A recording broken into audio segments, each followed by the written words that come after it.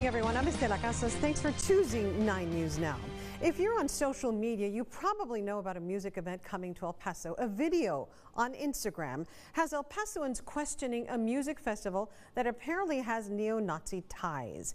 In a story you'll see only on KTSM, our KTSM 9 News reporter Carla Drexler talked with a local man who says this type of event should not be given a platform here in El Paso. She joins us from South Central El Paso where this music festival is going to be held.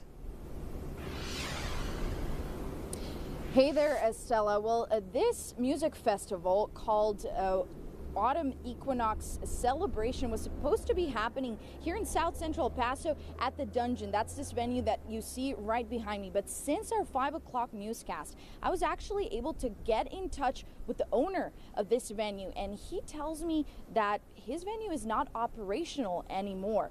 But uh, the El Pasoan in question, uh, Andrew Martinez, who I got to speak to, he's still concerned that this event will be taking place despite that.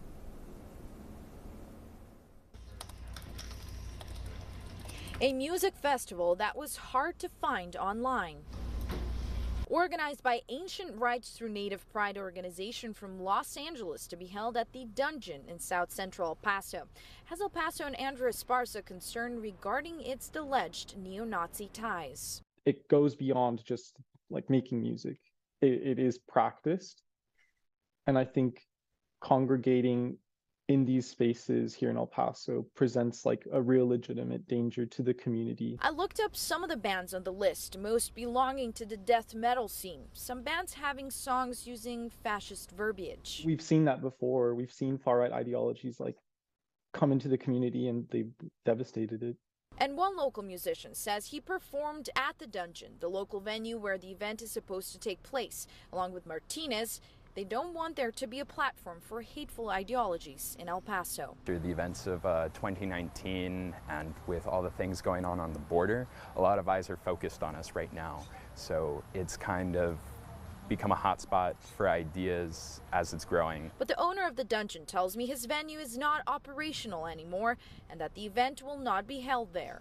I know some of the guys from from um, California and they that approached me, asked me if we could hold their event here.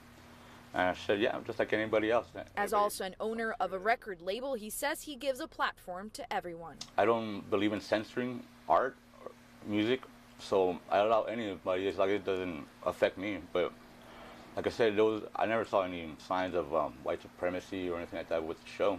Martinez believes the event has since changed venues. I don't feel safe with this happening. I don't know what to do, but I want to do something to ensure that there's no safe space for far right extremist ideologies in El Paso.